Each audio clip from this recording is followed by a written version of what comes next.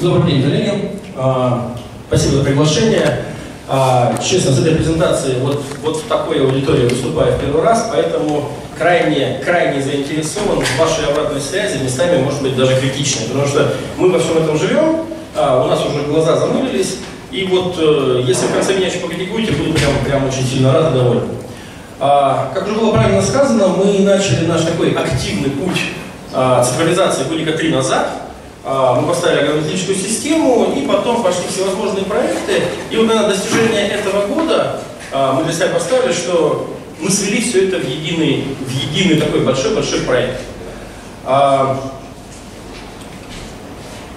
что мы сделали? По большому счету, в какой-то момент мы стали понимать, что все операции технологические по выращиванию культур так или иначе нами затронуты в части автоматизации. И поэтому в этом году мы по большому счету собрали все в единое. И вот знаете, не очень люблю пафосные слова, я не буду говорить, что мы вырастили там первые 500 тонн пшеницы без человека. Не, не так. Вырастили 500 тонн пшеницы на одном тестовом поле с минимизацией участия человека в операционных вопросах. Мы, мы постарались убрать ошибки человеческие. Мы дали инструмент агроному, дали инструмент механизатору, дали инструмент там, всем, кому только можно, чтобы люди разгрузились от операционных действий и э, как бы, сделали что-то больше автоматически, уделяя внимание более важным вещам. По большому счету мы выделили 8 вопросов, которые там и есть выращивание пшеницы. Да? Это, планирование СПП, подготовка почвы, посев, мониторинг, всевозможная обработка посевов, уборка, транспортировка и учет. Как бы, в крупную клетку для нас это так. Если, уверен, у каждого из вас будет мнение, что я чего-то тут забыл или не сделал, что-то лишнее, ну, как бы мы сейчас говорим с вами в крупную клетку. А, тогда, как раз эти два года назад, у нас был пилотный проект.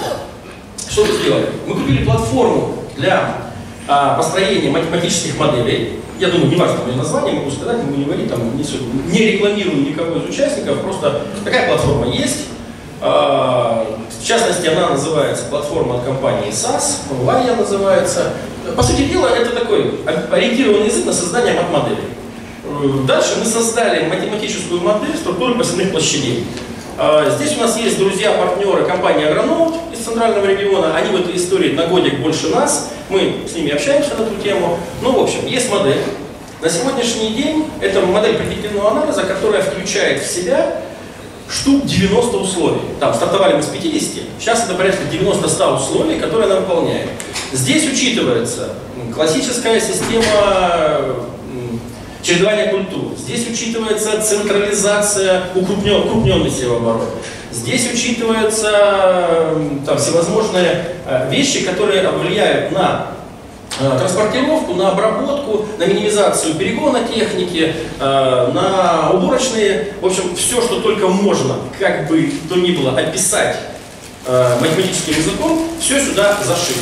Данное с, э, в прошлом году мы первый раз сделали структуру посадных площадей на всю компанию.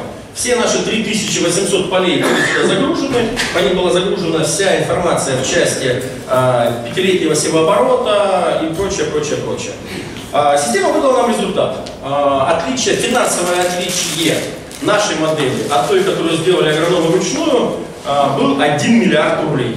То есть наша система сказала, ребята, все переделываем, делаем вот так, получаем сверху миллиард. На что агрономы сказали, подожди, не торопись. И 750 миллионов мы честно вычеркнули. То есть там из разряда, а вот здесь вы еще вот такое условие не учли, а вот здесь вот такое, вот такое, вот такое, вот такое. Мы проверили каждое поле. Честно, работа была колоссальная. Но вот под 250 миллионами агрономы, экономисты и мы все подписались кровью. А, и по результатам этого года, ввиду того, что система по большой степени, основная часть была нацелена на то, что она нам немножко пересобрала нишевые культуры. И как показал рынок этого года, мы заработали даже чуть больше, чем 250. Так, не буду, не скажу точное число, но благодаря тому, что рынок немножко изменился, мы заработали даже больше. То есть я готов честно сказать, что потратив 20 миллионов, мы за год получили десятикратный возврат. А, но самое главное, мы, конечно же, больше за отсутствие ошибок. Ну, представляете себе, да, там, ну, ну мы крупные, я понимаю, что там, когда у вас, там, не знаю, 30 тысяч, 50 тысяч, 100 тысяч, это еще как-то можно держать в голове. Но когда у нас 500 тысяч, из них 380 под пшеницей, то отконтролировать работу там 50 агрономов, даже на банальное чередование культур, ну, это крайне сложно. Соответственно, где-то поменялся агроном, где-то еще что-то произошло, не дай бог это произошло в середине сезона или еще как-то. А, это инструмент для вот наших э, штаб-квартирных агрономов, которые просто имеют и возможность перепроверить, и возможность сделать. Вот сейчас мы уже активно делаем, уже сделали даже структуру следующего года. Она ее делает на 7 лет, там, ну, 7-летний, там, по-моему, был горизонт, горизонт, да. В общем, а, мы для себя, после проверки всех там, кого можно, а, класс Аксион, это мы договорились с ребятами из класса, они нам просто пригнали э, их э, трактор, где на борту стоит родной, вот именно заводской базовый э, автопилот. А, и тут мне, честно говоря, понравилось, ну, как бы, там сейчас будет видно на повороте, у нас поле трацепи, трапециевидной формы, то есть его то, как он обрабатывал каждый раз, там, чуть позднее закладывая э, разворот, ну, слушайте, ну это как, как минимум красиво, вот, как минимум вот настолько четко, что ну, нам это все понравилось. А, идем дальше. А, те же самые герои, процесс посевная, но здесь мы пошли снова, придумали еще, одно, еще один тест. Мы запустили классы Trimble рядом. Вот как бы просто взяли, ну из разряда, все мы понимаем, какое-то новое хозяйство, там может быть все что угодно, может быть и такое, и такое, и вместе на пару они тоже прекрасно работают. То есть текущая, знаете, вот этот самый наш мультик Простоквашино, то есть техника настолько дошла, что миксовать можно по-разному. Я вот как бы во всей презентации хочу призвать к следующему, что мы никого отдельного не э, рекламируем, мы говорим о том, что на сегодняшний день все операции можно автоматизировать, можно автоматизировать готовыми рыночными решениями, а уж какой вы выберете прямо вот прямо на ваш вкус и цвет. Хотите зелененьких, хотите красненьких, там, все что угодно. Идем дальше. А, это, вот, это, вот, этот, вот этот слайд, это ответ на вопрос «Зачем?». Вот мне тоже, а сколько, как бы, посчитаете монетизацию э, автопилота? Ну как ее посчитать, если, по сути дела, автопилот – это борьба с косяками, да? Ну, вы же не можете заранее знать, насколько накосячит механизатор. Вот два года назад у меня было вот такое поле. То есть это выгрузка из истории поля, в нее загружен трекинг, э, трекинг с Виолона, и, грубо говоря, зелененькая это ширина орудия, красненькая это пропуски. Ну вот как я предположу, сколько у меня в следующий раз агроном накосячит? Слева там специально стоит. Ширина вот слева недоработки 12 метров. Длина этого поля 1,9 километров. Вот 10 метров на 2 километра. Это вот, и вот таких пробелов, ну вот видите, да? То есть вот э, для чего нужен автопилот, он убирает вот эти вещи. То есть, ну, с той или иной точностью. Да? Вы, вы можете знать, что, по крайней мере, тем более сейчас э, зеленая масса поднимется, кроны сомкнутся, вы даже это потом даже не поймете, что ваша, э, ваша урожайность пострадала не из-за дождей весенних, потому что просто зернышко туда не положено куда надо, в каком виде. И все. Поэтому монетизировать, ну, правильно сказать, исключить ошибку. А, идем дальше. Мониторинг. А, два года назад рассказывал, сейчас мы уже просто, мы уже там расширяемся, не знаю до, какого, до какой ширины.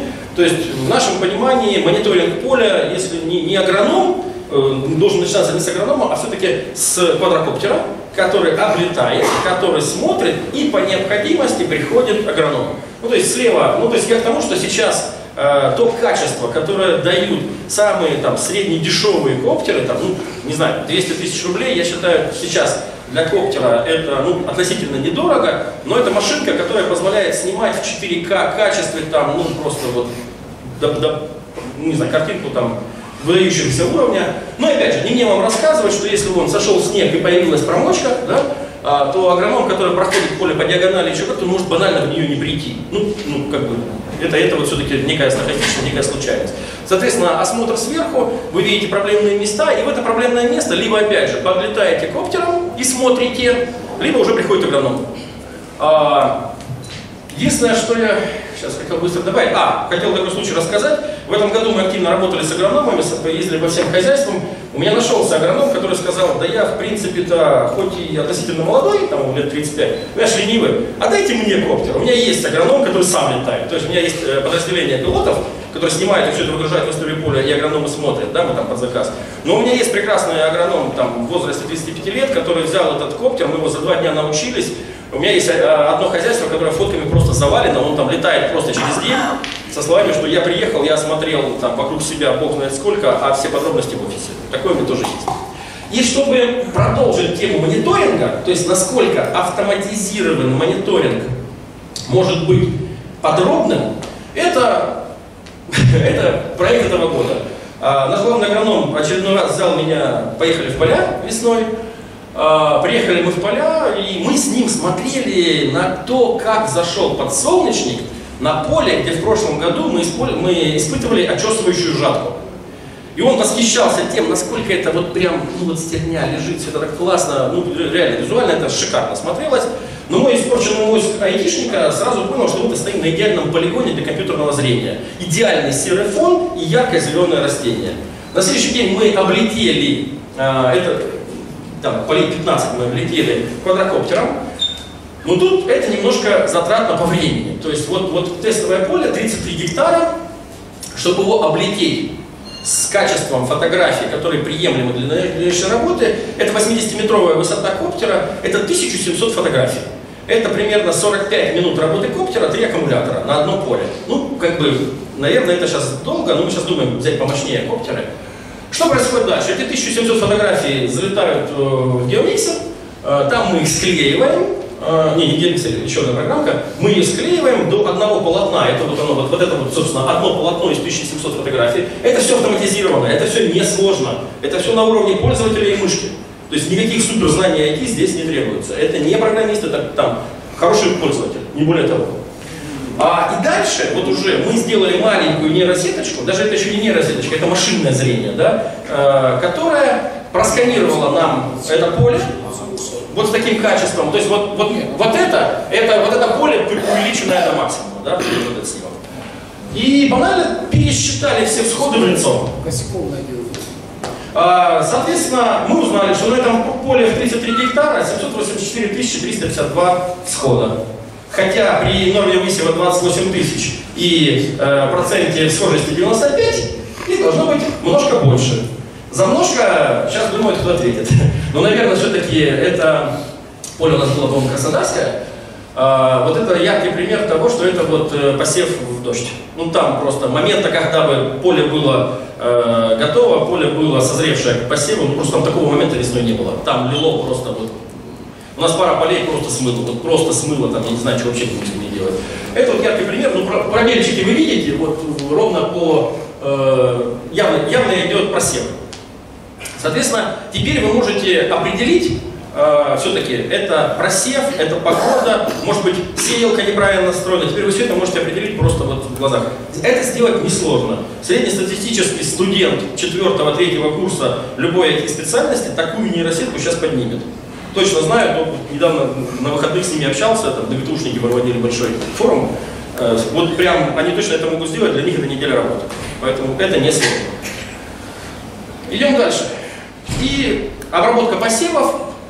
А, опять же, можно было взять предыдущих ребят, э, класс э, John Deere с автопилотами, прицепить к ним э, всевозможные либо опрыскиватель, либо разбрасыватель, да, просто специальную презентацию включил квадрокоптеры.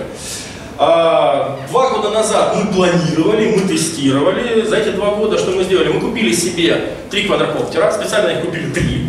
Ну, нам так посоветовали ребята, кто нам их продавал. А, но сейчас мы уже понимаем, что этого нам существенно мало. В общем, плюсы коптеров, а, наверное, не буду там сильно распространяться, но они на поверхности. Соответственно, классический опрыскиватель это там миллионов 18-20, да, там, а если еще с точным каким-нибудь там прямомассами, то уже за 20. Коптер, один коптер это в полном боевом состоянии с аккумуляторами, с двумя канистрами, там совсем-совсем-совсем-совсем, это полтора миллиона. Соответственно, там чтобы выйти на производительную мощность классического опрыскивателя, нужно 4 или 5. 5 это как раз таки потолок для этой модели, когда пятью коптерами с одного пульта управляет один человек.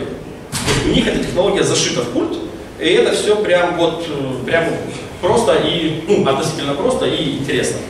А, разумеется, сразу ожидаю в меня там кучу помидоров на тему того, что им точно нельзя сделать все. Ни о каких гербицидах, которые проливают там 3 сантиметра почвы, мы не говорим.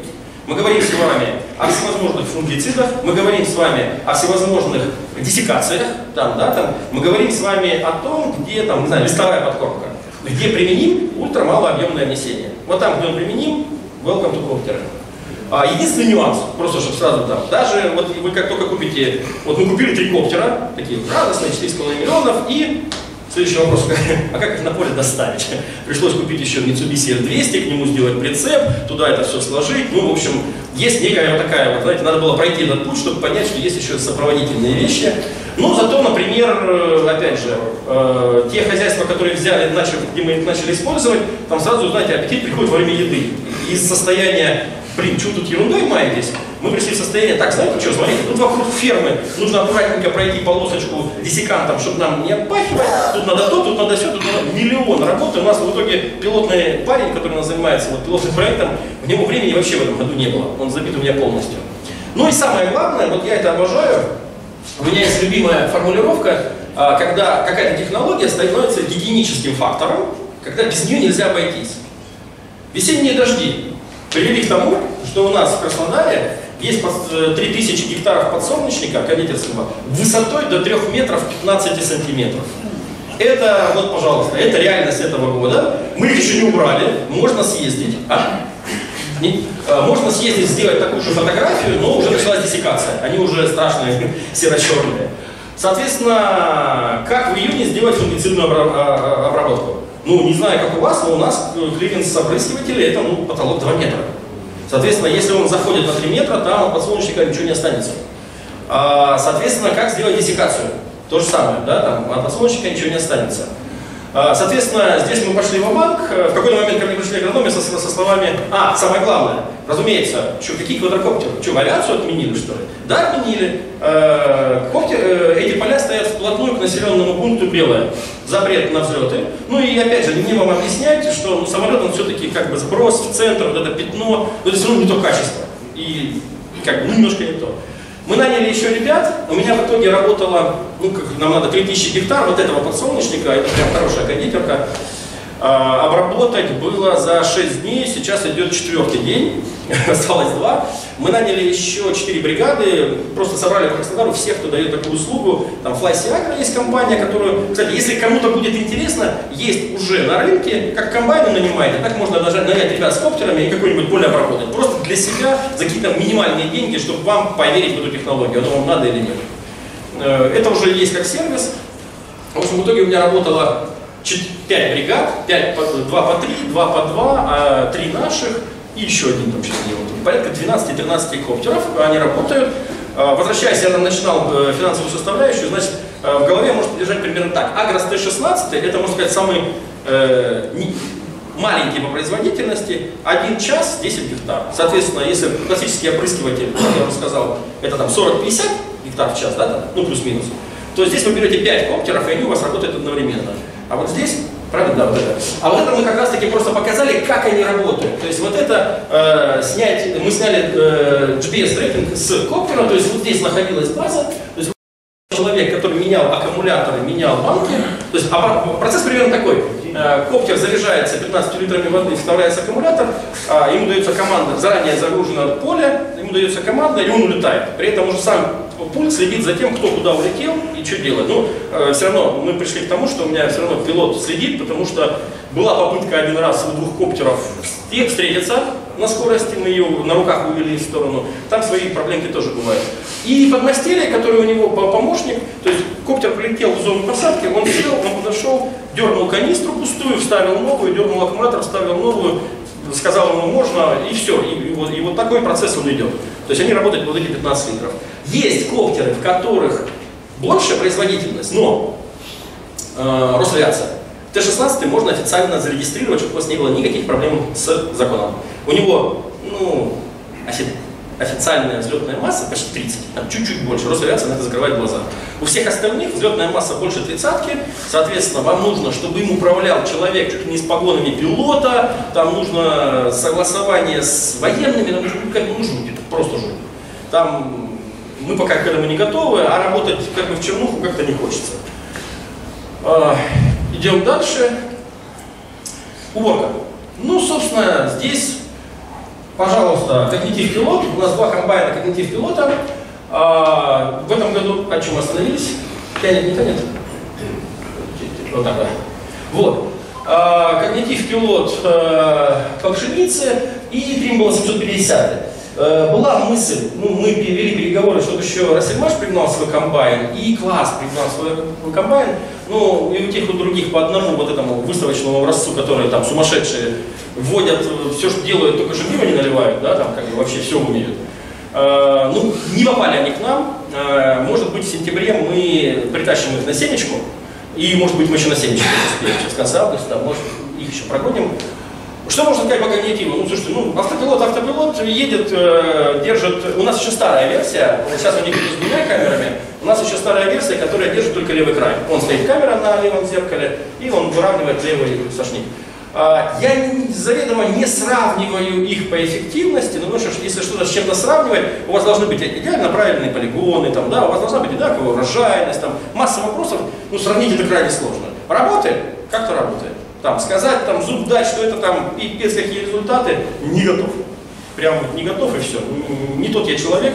А можно сейчас на паузу нажать? Вот прям на левом видео, вот если можно. Да, да, ну, да, поймайте его. Вот, все, вот здесь. Спасибо. А, вот на Тримбле 850 остановлюсь чуть подробнее. Честно, меня порадовало это вот, вот туда. Вот. А, крайне интересная штука. Что, что мне не понравилось? Вы ставите автопилоты на комбайны. А, что происходит дальше? Первый, первый комбайн выходит, отбивает делянку. И сам, поднимая автоматически локальный Wi-Fi в поле, никаких GSM там не надо, он поднимает. И всем остальным, типа, ребята, все сюда. Они говорят, внутри кабины сидит пилот, который принимает, не, пере, не, не принимает. Они общаются. Это осмысленный рой техники, который управляется мастером. Ну, первым. Кто из них первый может быть любой. А дальше он разбивает поле, назначает э, треки, и он сам говорит, ребят, для оптимальности ты работаешь здесь, ты работаешь здесь, ты работаешь здесь. При этом, а если даже человек говорит, нет, я вот, вот, вот я не пойду на 11, я пойду сразу на 12, ну вот захотелось ему так, он это понимает, он это отслеживает, и дальше он уже на 12 никого не пустит. То есть он э, постоянно общается со всеми, все это считывается, крайне интересная вещь. И вот тут, кстати, видно, вот он как раз таки на десятом, он показывает, что это последний прогон, что э, жатка идет не на полную, и вот он пока показывает, что жатка идет на две трети. То есть он отслеживает даже вот такие вещи. Ну, честно, мне потому что он делает, мне понравилось. И вот как мы успели поговорить с ребятами из Топкона, а, здесь также две оставшиеся вещи. Здесь есть средняя урожайность, мгновенная урожайность и то же самое с влажностью. Ну, вот это уже такой в целом весь этот проект, вот все, что я вам рассказываю, мы готовимся к тому, чтобы в следующем году заложить большой проект по точному земледелию. По большому счету мы просто проверили все то оборудование, которое в следующем году должно нам дать результаты точного земледелия. Это мы в том числе прогнали картирование урожайности. То есть вот у нас на этом поле получается средняя влажность 10%, ну и 52 центнера с гектара. Ну это ростовский кластер, в принципе, нормальная для Ростова урожайность. Вот, мы это все проверили, мы загружали с одного комбайна в один грузовик, тащили его на весы, сравнивали, там, смотрели, в целом все нормально. Там оттарировали все, что можно оттарировать, в общем, заморочились. Вот, идем дальше. Вот это у задание со звездочкой. Транспортировка. А, плотно пообщались с ребятами из КАМАЗа, с главным инженером по инновациям, там есть такой Назаренков, Олег, по-моему.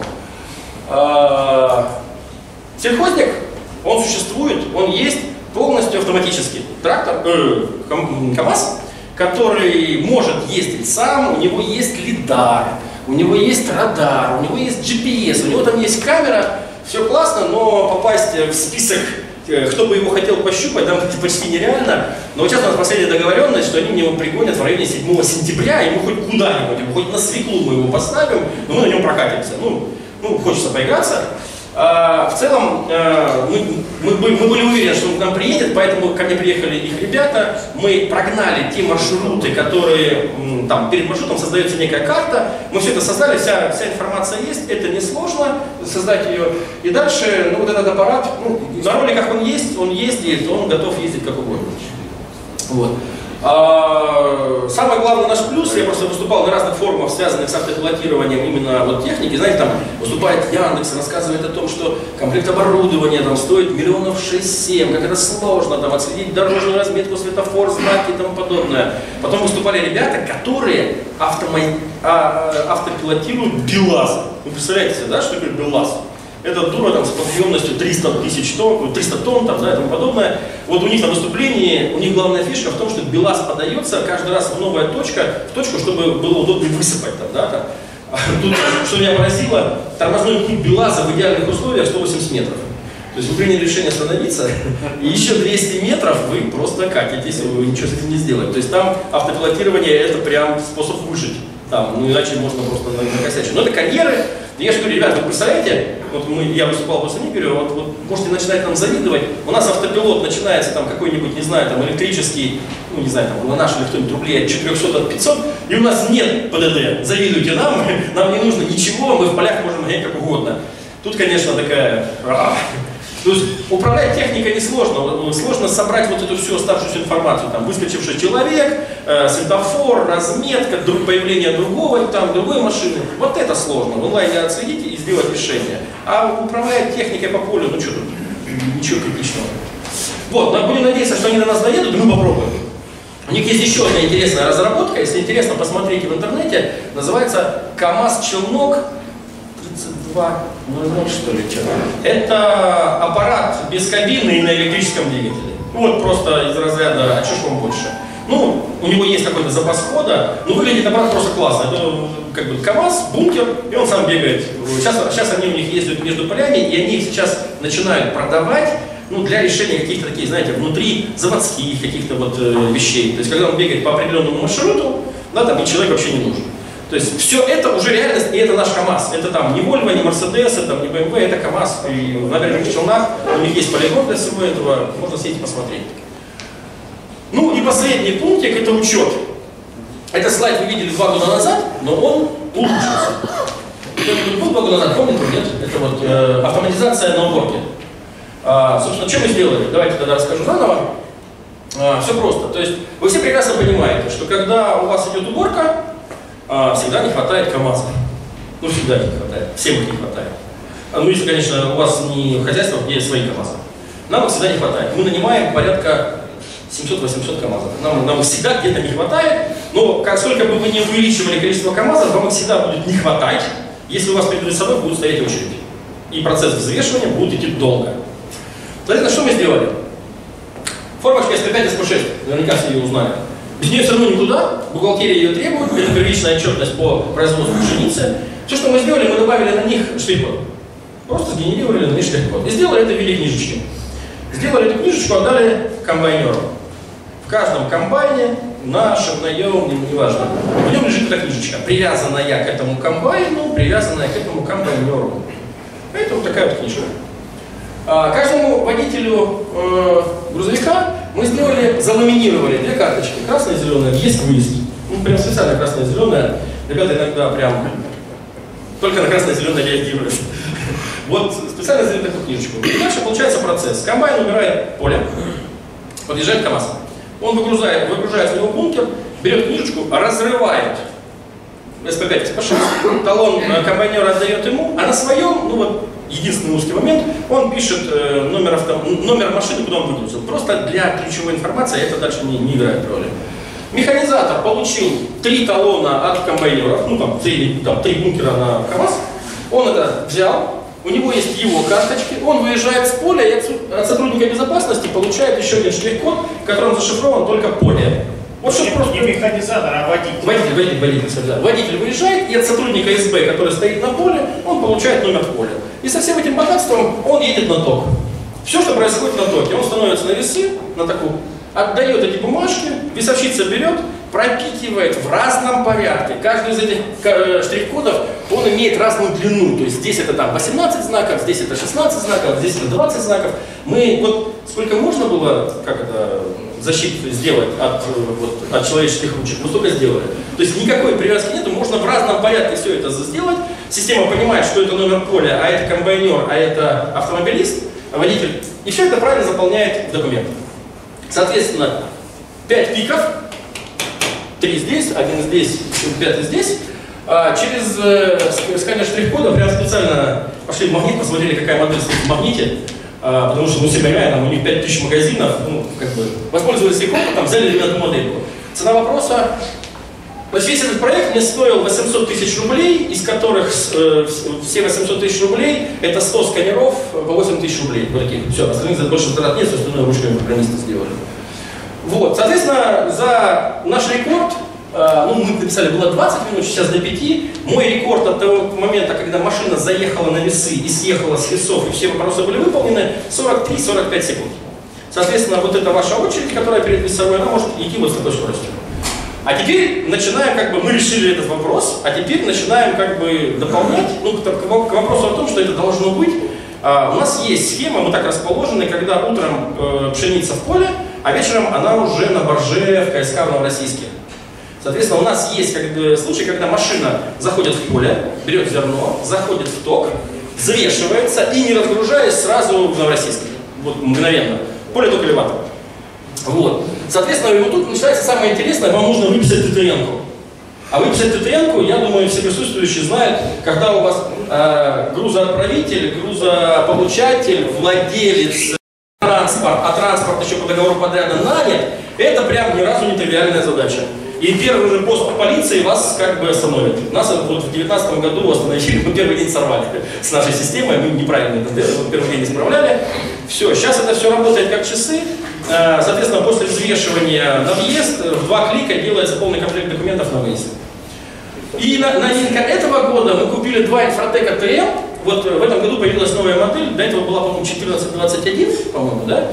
А сейчас инфротек ТМ. ТМ. Все то же самое, это та же самая железяка, только у нее теперь мозги нормальные, у нее внутри стоит полноценный Windows, и ее можно подключить к чему угодно она генерирует файлик, и вот у меня как бы весовщик, он отсканировал все штрих-кода, заполнил документы, нажал на кнопочку, получил вес с электронных весов, за это время он работает 59 секунд. Uh, у него идет процедура, ну 1421 работал так же.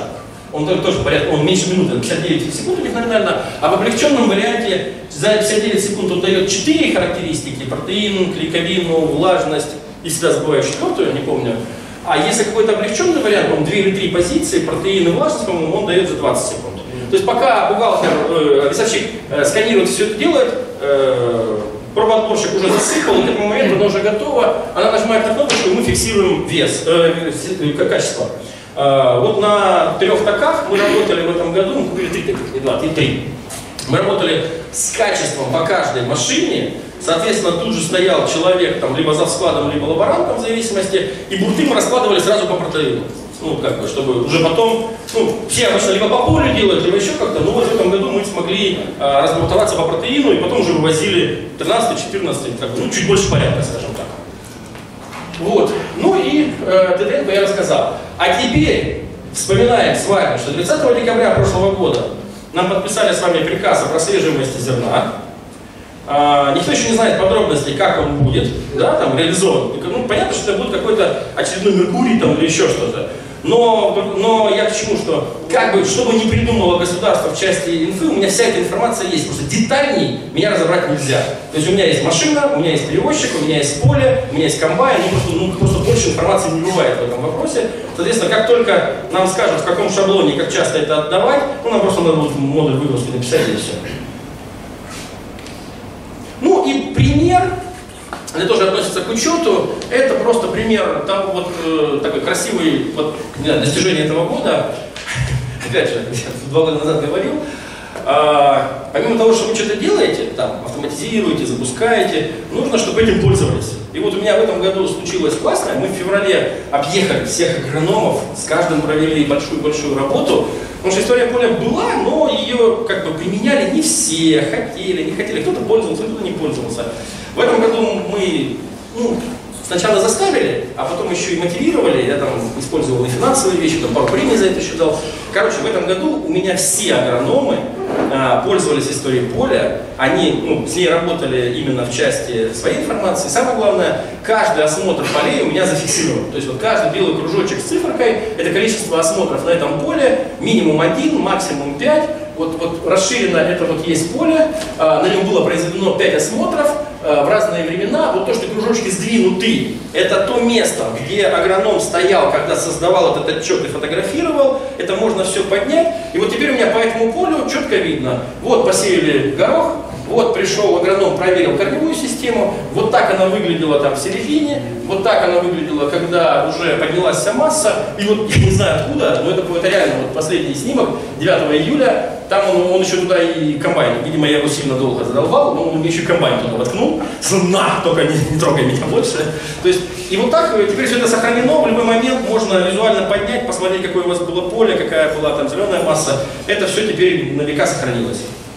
А, это первый год, когда у нас есть статистика по всем полям.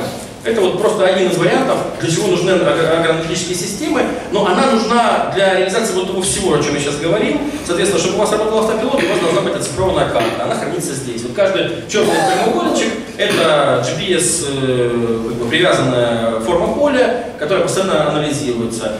А, ну, тут еще можно сказать, что еще часть учета у меня анализирована, э, тоже автоматизирована, я об этом рассказывал в прошлый раз. То есть, как только у меня э, заходит э, трактор в поле, мы начинаем это, вот всю эту систему полностью вырезали, трактор заходит в поле, начинается сбор того трека, который находится внутри. Помимо того, что мы контролируем скоростные вещи, там топливо, все это понятно, но у меня уже два сезона полностью запрещено делать вручную лист машиниста-тракториста. Этот, этот документ делается полностью автоматически. В этом году мы воткнули во все трактора считыватели, то есть у меня механизатор, садясь в трактор, чекинится, Соответственно, мне прилетает с точностью до минуты, мы вот боролись, вот для чего мы их поставили. У нас есть трактора, которые работают две смены, и вот точно минута, и точно расход топлива, кто что наездил. Были терки на эту тему, все мы это сделали. А, и в конце дня у меня собирается информация о том, сколько он наработал, в разрезе каких полей, на какой технике, с какой прицепухой это сделано по арфидметке. А, и все это влетает в 1С, но единственное, что мои девочки, вот мои айтишно-мониторинговые девочки, не бухгалтера, не экономисты, не агрономы, мы специально это убрали в сторону для исключения любых инсинуаций, они ставят вид работы. Ну, как определить, там, дискатором вы работаете на 5 сантиметров или на 12 сантиметров, да, там, или блугом. Вот, вот это единственный момент, который нельзя оцифровать. Мы не знаем, мы не знаем тип операции.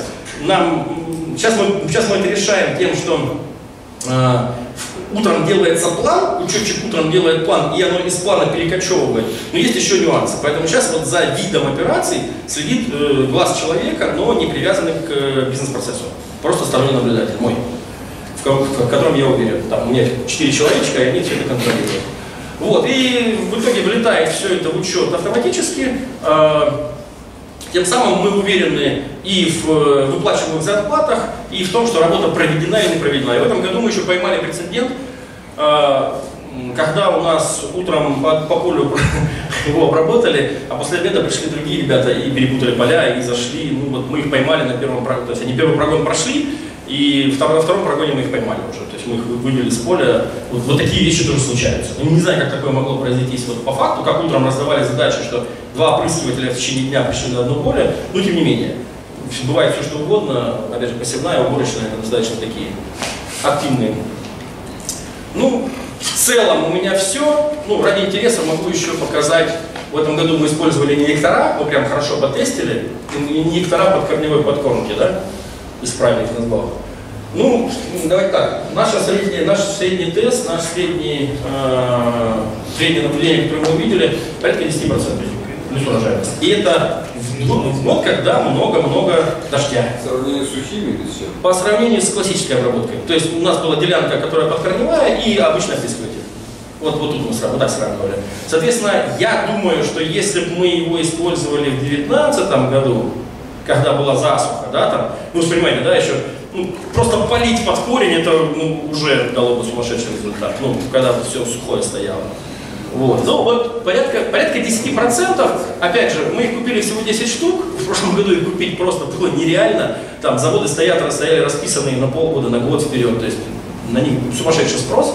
Мы выхватили 10 аппаратов, трех разных моделей, сейчас не скажу точно чьих, там, по большому счету, какая модель, мы особой разницы не нашли. Вот Ставропольское поле, вот наши замеры, 4 центнера, при средней урожайности 39, я не помню, что там было. Там вот конкретно вот это, не помню, лен или это пшеница была, я не помню. Прибавка что Плюс 4 центнера с гектара прибавки. То есть на круг это примерно 10%. А вы на одном и том же поле меряли там по линии, да? А? Там же еще по-. Там прям, там прям делянки, мы экспериментировали с нормой, мы экспериментировали все, то есть там это были прям Много, да? Да, То есть да, да, да, да. Мы экспериментировали, вот средневзвешенный пр- примерно 4 центнера, это вот то, что мы увидели. Не готов дать за это зуб, это был первый год, мы экспериментировали, вы прекрасно понимаете, что на это наложено там миллион условий, там, которые дополнительные, но это из года в год дальше уже будем смотреть. А вы учитывали тот фактор, что газ, в принципе, сам по себе дешевле стоит, чем э, сухие. А у нас, а у нас в принципе основное мы на жидких. Мы Вы с селитрой не, не работаете? работаем, но в целом мы идем в сторону жидких удобрений. То есть мы это сравнивали с опрыскивателем. А, понятно. Мы с опрыскивателем, это не с минералкой, не в смысле, не с гранулами. Да? Мы это сравнивали, один и тот же раствор, просто подавали его с опрыскивателя и с этого. То есть тут мы максимально все выровняли, как только можно. Вот.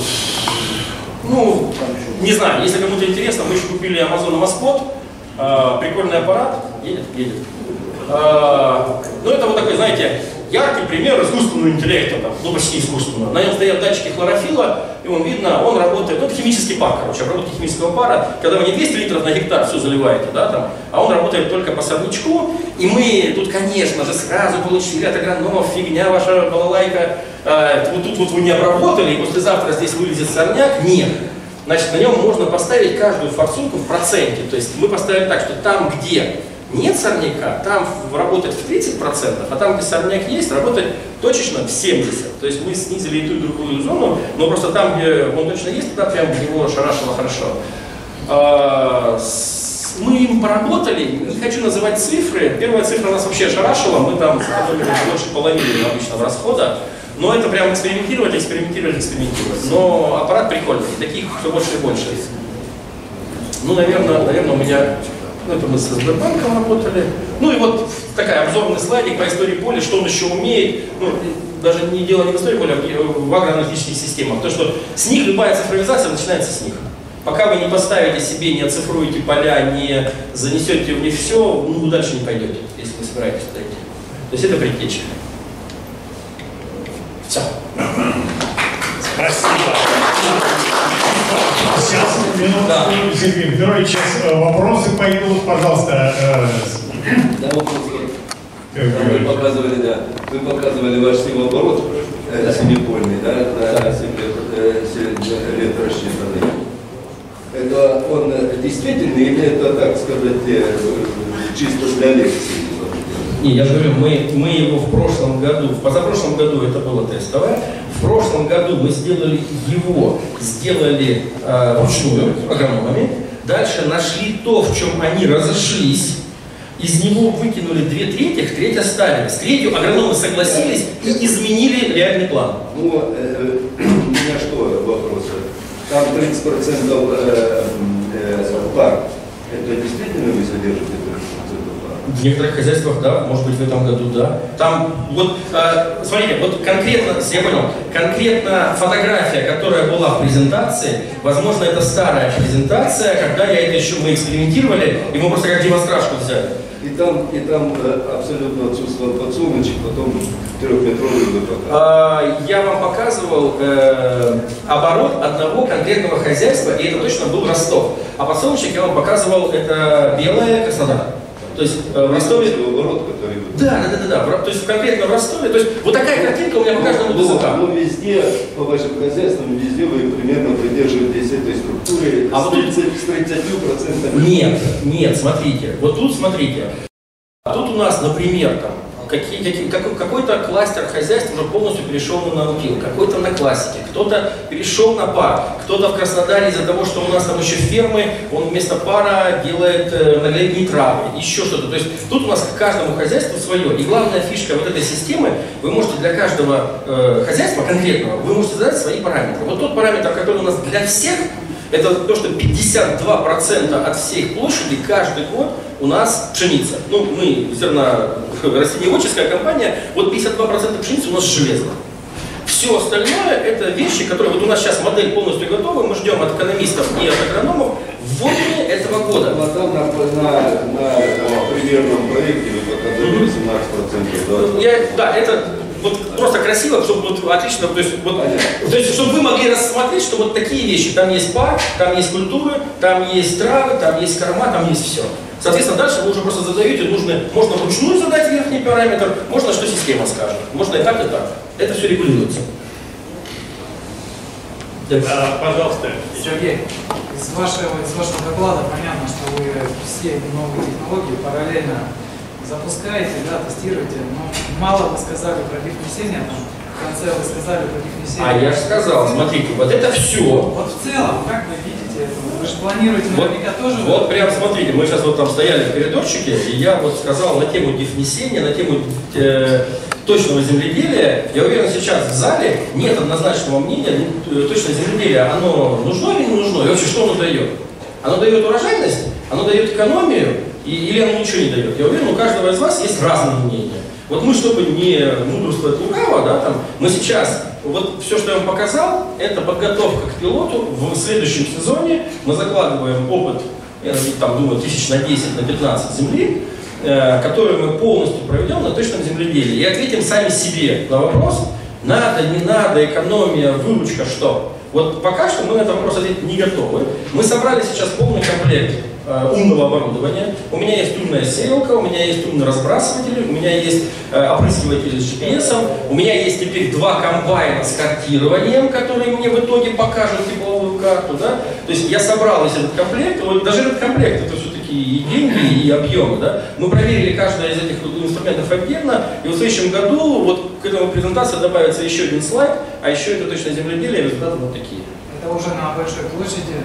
10-15 тысяч пока планируем. Ну вот у нас 30 августа будет внутреннее совещание, мы собираемся с агрономами, подводим итоги этого года, ставим следующий. Главный вопрос, идем, не идем, я хочу от них это услышать, я хочу, чтобы они мне эту задачу поставили. И если идем, то где, как, в каком объеме, это вот все будет через неделю решено. И еще один вопрос. Вот там вы показывали э, историю поля, историю коны.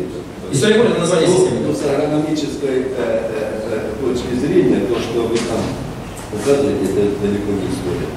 История поля это со- совершенно... Там, я просто не пок- я вам показал один красивый картинку. тогда, когда туда приходил агроном заглядывал. Нет, там хранится, э, там хранится влага, там хранится NDVI снимки со спутника, там хранится осмотры, там хранятся э, внесение химии, там рассчитывается естественное вымывание, э, там рассчитывается, слушайте, ну вот, простите меня, не, не, не агроном, а совсем ни разу, я вот айтишник цифровизатор, все это есть, но просто это, ну, это не так наглядно, не так красиво. Включая, что туда можно загрузить модель на следующий год, а здесь сделали, как они сказали. И вот мы специально оставили этот чистый эффект, где агрономы сказали, да, вот здесь мы не досмотрели, и здесь действительно можно сделать вот так. Принимается, да? И финальный наш э, севооборот был э, сделан там на 80% ими вручную, ну, вот там 70% у нас совпало. А вот те, ну, там, которые они согласились, они вот это взяли в свою. Мы вот так действуем.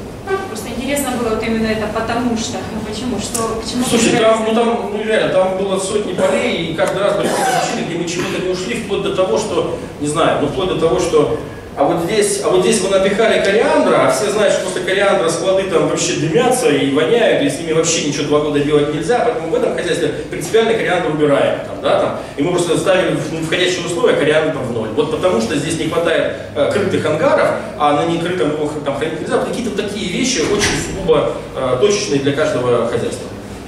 То есть там э, э, направленного радиуса действия на бортовую часть КАМАЗа, она подъедет к комбайну, сработает свой-чужой, и эта информация отправится э, в центр. Но я вам гарантирую, как человек, который 15 лет проработал в, телеком-компании, что в 52 градуса э, GSM может отказать. Базовые станции выключатся, и все, и вы получаете отказ. А у вас уборка идет. Поэтому вот бумажка со штрих-кодом, вот прям это вот, и то умудряются накосячить, и то умудряются либо потерять, либо не найти, все равно есть косяки. Талон комбайнера советских времен все-таки побеждает. А, а понимаете, а талон комбайнера советских времен никто не отменял. И дальше все равно вечером приходит бухгалтер и говорит, где стыдайтесь по 6 ну как? Она все равно есть. Но если она все равно есть, тогда, ну, ну зачем тогда делать второй проект? То есть у меня должна подряд сидеть ребята, которые поддерживают систему э, со штрих-кодами, да, потому что ну, один черт талоны нужны, и, и нужно еще городить поддержку техническую, зип, ну слушай, ну это все-таки бабло все стоит. У нас в уборку это полторы, там, две тысячи единиц техники. На каждый поставить меточек, на каждый поставить подсчитыватель, поставить э, блокиратор на шнек, слушайте, это прям хорошая сумма. Там сотни миллионов. И это все еще надо поддержать. Мы очень сильно не уверены. Мы экспериментировали со всеми этими. У меня было, у меня есть хозяйство, где стоят свой чужой с блокировкой шнека. Мы прекрасно это все попробовали. Слишком много нестабильности. Слишком много. Спасибо. А еще Есть еще вопрос. Один не последний.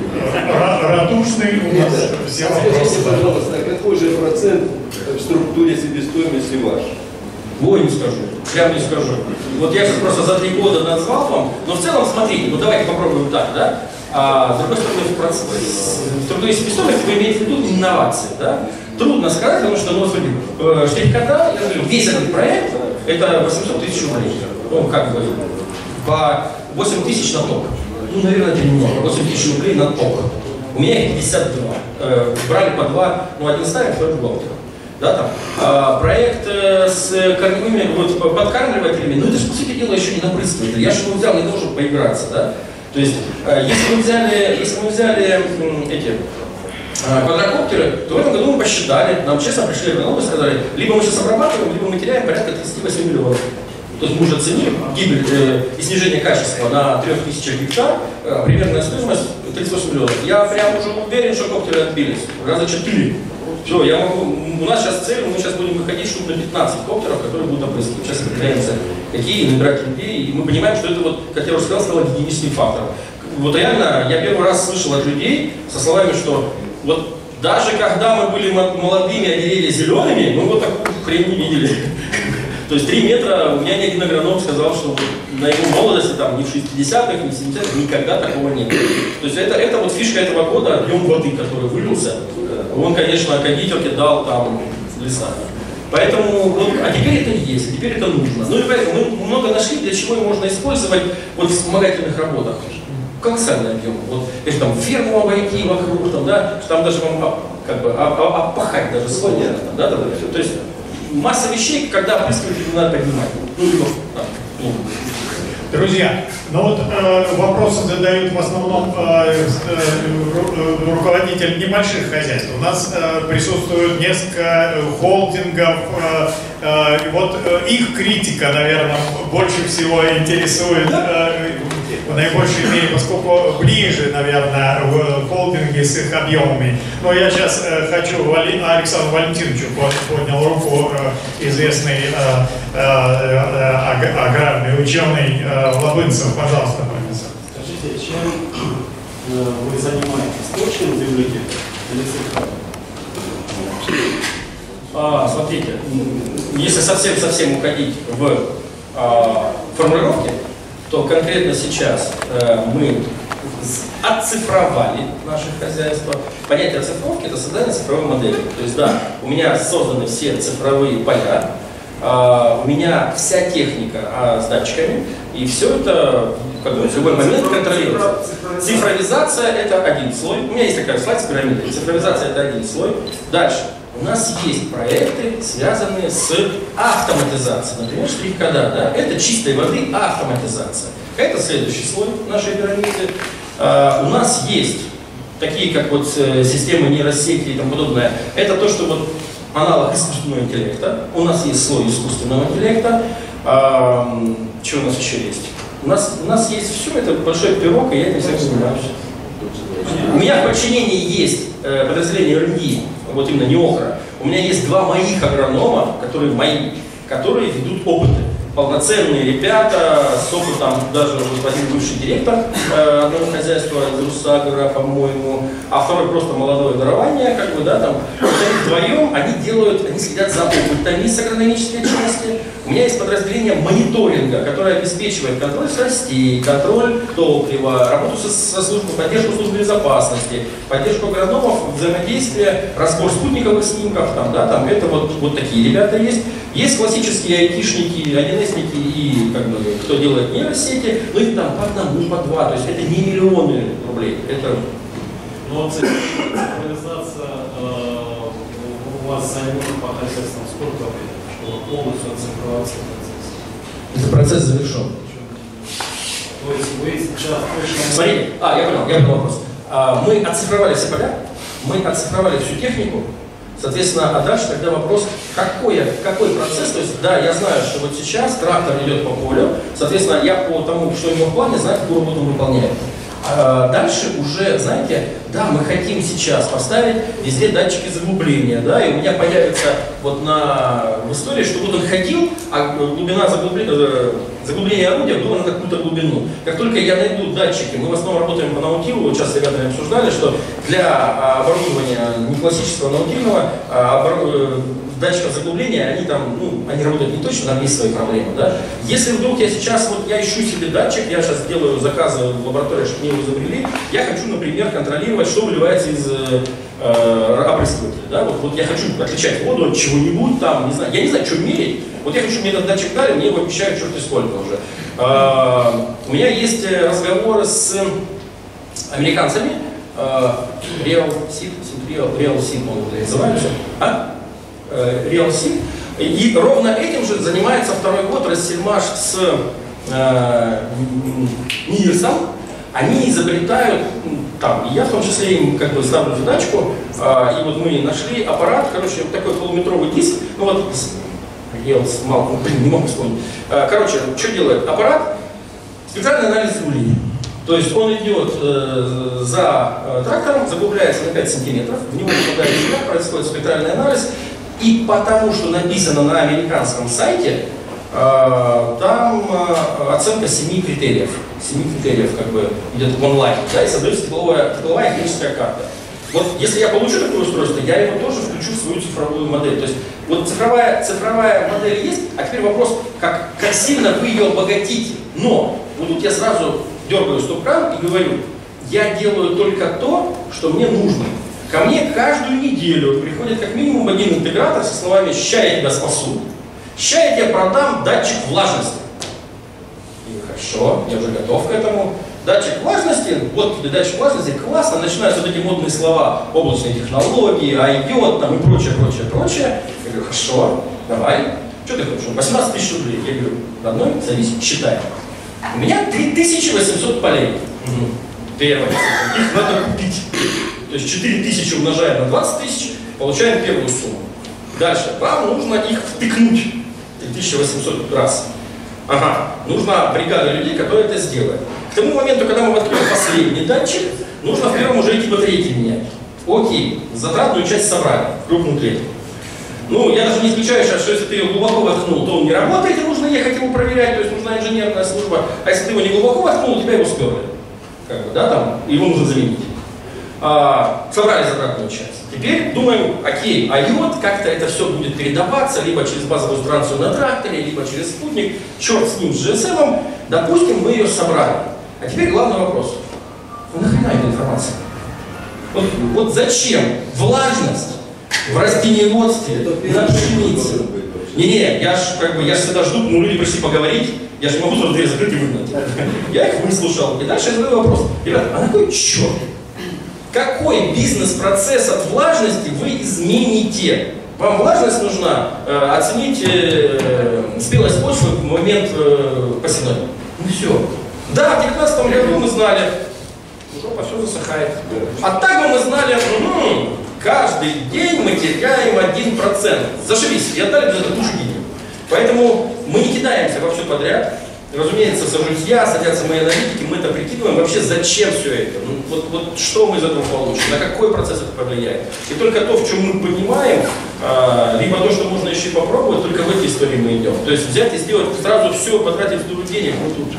А вот цифровизация мониторинга э, сорняков на поле и вредителей и болезней. Вы как Ну, давайте через год встретимся. Ну, я сам подсолнечник посчитал, но то, что вы говорите, это просто развитие этого проекта. Ну, подсолнечник посчитать, это нужно зелененькое найти. А сорняки, это нужно обучить модельку.